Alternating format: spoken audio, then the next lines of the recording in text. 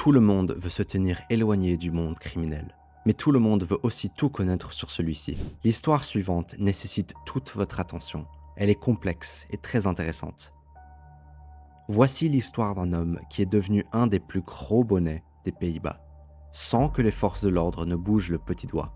Toute sa vie, cet homme a toujours été contre toutes sortes de violences, jusqu'au jour où quelque chose le fit craquer. Ce qui se passe ensuite était inouï, et ce fut une nouvelle choquante pour le monde entier. Voici l'histoire de Roger P. Roger P., aussi connu sous le nom de Pete Costa, est une figure intrigante du monde criminel hollandais. Il est né et a grandi à Rotterdam au début des années 70. Et bien qu'il soit un gros bonnet du monde criminel, très peu d'informations circulent sur lui. La première partie de son surnom, Pete, est un petit dérivé de son nom de famille. La deuxième partie, Costa, vient du fait qu'il voyage souvent au Costa Rica. Tout ce que l'on sait de ses jeunes années est que Roger fut impliqué dans deux braquages. Un braquage de banque en plus d'un autre, pour lequel il eut un casier judiciaire. Dans les années 2000, il s'est aussi essayé à la fabrication de speed à petite échelle, mais ce n'était pas grand-chose. Comment cet homme est-il devenu une figure emblématique du monde criminel hollandais? En fait, entre 2006 et 2009, Roger fut incarcéré. Cette sentence a joué un rôle important dans le reste de sa carrière. Depuis 2009, Roger voyageait régulièrement en Amérique du Sud, plus spécifiquement au Panama, au Costa Rica et en Colombie. Il n'est pas illégal de visiter ces pays. Cependant, pourquoi y allait-il si souvent? Et encore plus important, Comment se fait-il que ce petit criminel ait soudainement toutes ses connexions en Amérique du Sud? Qui a-t-il rencontré en prison? Qui lui donna tous ses contacts? Il y a beaucoup de questions à ce sujet, les réponses vous seront dévoilées dans cette vidéo. Sa première visite au Panama date du 17 septembre 2009. La fréquence à laquelle il se rendait au Panama alerta les autorités, qui informèrent les autorités hollandaises. C'est à ce moment que cette histoire devient fascinante. Au début des années 2000, le chemin qu'empruntait la cocaïne pour rejoindre l'Europe était dominé par la mafia italienne, et les produits étaient envoyés depuis la Colombie jusqu'à des ports en Espagne ou en Italie. Cependant, après un changement dans le marché colombien, les Italiens perdirent leur monopole. Cela créait une opportunité en or pour les trafiquants des Pays-Bas, qui contrôlaient les ports de Rotterdam et d'Anvers. Le volume de marchandises transitant par ces deux ports était en constante augmentation, ce qui amena un contrôle moins régulier des conteneurs Ajoutez à ceci une bonne infrastructure et la possibilité de devenir riche à millions en faisant la contrebande était immense. C'est ici que Samir Scarface Bouyakrishan entra en jeu. Samir est un des plus grands contrebandiers que les Pays-Bas n'aient jamais connus. Il ne travaillait généralement qu'avec des Marocains. Mais depuis 2010, un Hollandais faisait partie du groupe. C'était Roger. Comment cela se fait-il? J'espère que vous vous souvenez de la question que nous nous posions. Qui Roger a-t-il rencontré pendant qu'il purgeait sa peine? Qui le mit en contact avec les cartels d'Amérique du Sud? C'était Mustapha F., un membre important du groupe de Samir Scarface. Avec son expérience, Roger se concentrait sur la partie logistique de l'énorme business de Samir. Il supervisait les transports et les gens dans les ports d'Anvers et de Rotterdam. Alors que le marché de la cocaïne grandissait en Europe, Samir et Roger se font des millions.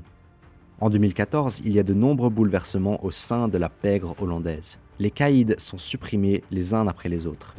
En août 2014, c'est Samir qui est supprimé. Sa place était donc soudainement libre. Roger prit sa place et gagna de l'influence et du pouvoir. Mais cela avait un prix. Roger fut informé que sa tête avait été mise à prix. C'est pourquoi il décida de déménager définitivement à San José, au Costa Rica, en 2015. Au Costa Rica, il s'est lancé dans une plantation d'ananas. Ce qui est logique. Les ananas sont souvent utilisés comme couverture lors d'opérations de contrebande. Dans les années qui suivent, Roger, accompagné de Mustapha, introduit des milliers de kilos en Europe depuis le Costa Rica, cachés dans des cargaisons d'ananas. Les affaires étaient florissantes et tout le monde aimait faire affaire avec Roger. Tout le monde savait qu'il pouvait vous faire gagner beaucoup d'argent. C'était un bon gars et il détestait la violence. Certains dans la pègre l'appelaient Suisse. Il n'avait pas d'ennemis et ne prenait jamais parti. Alors qu'il y avait des querelles interminables aux Pays-Bas, Roger ne faisait pas de bruit et ne s'impliquait pas. Même si quelqu'un le volait ou le trompait, Roger n'utilisait jamais la violence. Il se remontait les manches et gagnait sans problème son argent à nouveau. Roger pensait que se venger lui coûterait bien plus d'argent que de laisser filer. Certains l'appelaient le bonbon, il était juste trop gentil. Tout ce qui comptait pour lui était son argent. la police ne s'en prenait qu'aux caïds les plus violents. Le fait qu'il soit opposé à toute représailles rend la suite de ce qu'il va faire encore plus hallucinant.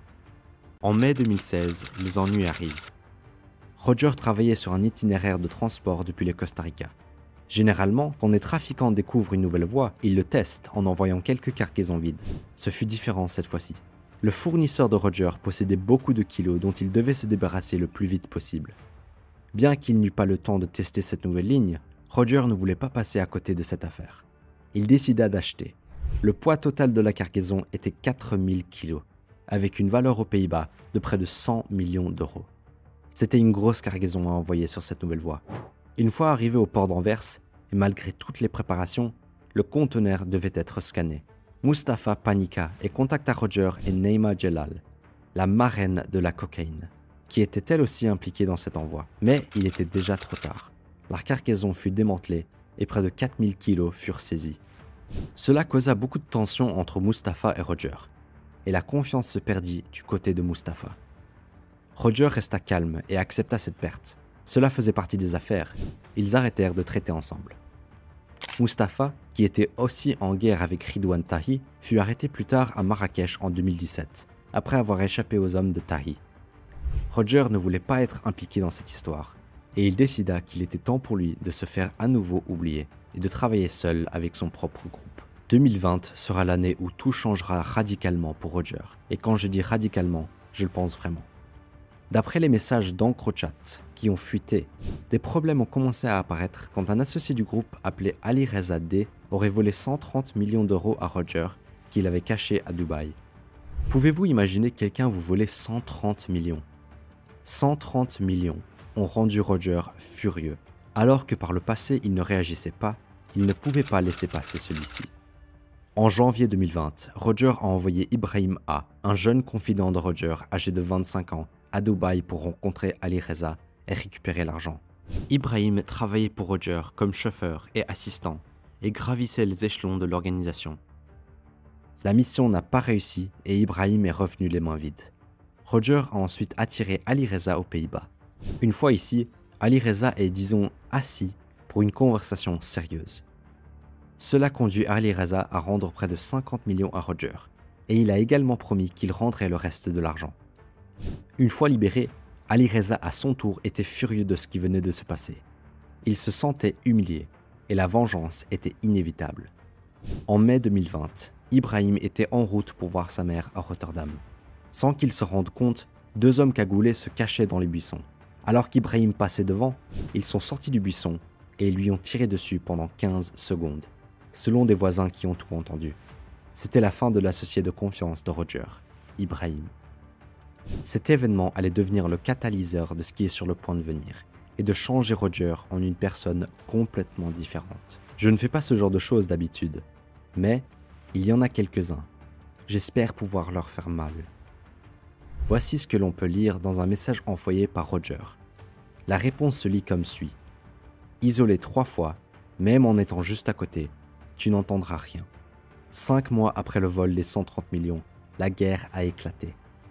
Ali Reza aurait mis à prix la tête de plusieurs personnes du camp de Roger, Roger inclus.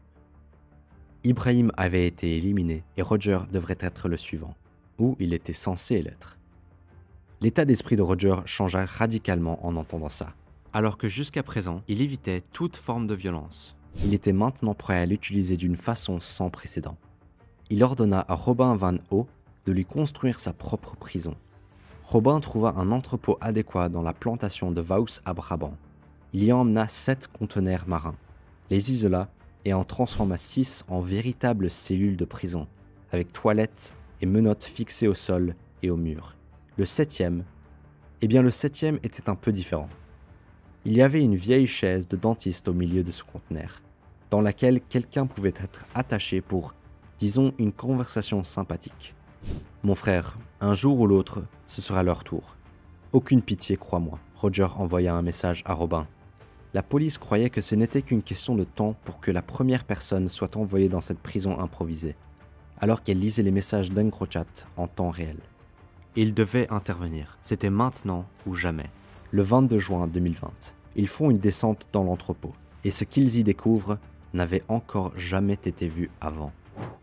Les images des chambres ont fait le tour du monde, et pour les mentalités hollandaises, cela était inédit. En approfondissant leurs recherches, ils trouvèrent beaucoup d'uniformes de policiers et de panneaux stop, ce qui devait servir à arrêter les cibles et à les emmener dans leurs cellules. Ils trouvèrent aussi des outils comme des tournevis, des sécateurs, des ciseaux, des pinces et même une baignoire. Utilisez votre imagination quant à l'utilisation de la baignoire, car je dois faire attention aux conditions d'utilisation de la plateforme. Les personnes qui finissaient à cet endroit vivaient sûrement une expérience très intense, si on peut appeler ça comme ça.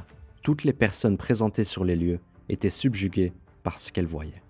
L'appartement de Roger à Rotterdam fut perquisitionné le 22 juin 2020, en même temps que l'entrepôt. Il essaya de s'enfuir, mais il ne put aller loin. Après des années de vie en sous-marin, la police l'avait enfin attrapé. Pas sous le soleil du Costa Rica ou à Dubaï, mais dans la ville où il était né et avait grandi. Durant son procès, Roger était assis dans une chaise roulante, car il s'était blessé en jouant au football en prison. Pendant toute l'audience, il était assis, portant un sweatshirt à capuche, relevé sur sa tête, et un masque facial, qui est la raison pour laquelle il n'y avait qu'une seule photo de lui qui puisse être trouvée. Il ne voulait sous aucune condition être photographié ou dessiné. Pendant la première session, il ne dit que quatre mots pour être exact, et resta silencieux tout le reste du procès. Il fut condamné à 17 ans et 9 mois de prison pour contrebande, ce qui est la sentence maximale. Pour les chambres, il fut condamné à 12 ans de prison. Roger resta digne et calme en entendant le verdict. Il savait qu'il écoperait de lourdes peines. Son avocat fit immédiatement appel. Il est intéressant de noter qu'il était sur le point de faire venir une cargaison de 25 000 kilos de Colombie en une seule fois par le biais de son propre bateau. Mais malheureusement pour Roger, il fut arrêté avant que cela ne se produise.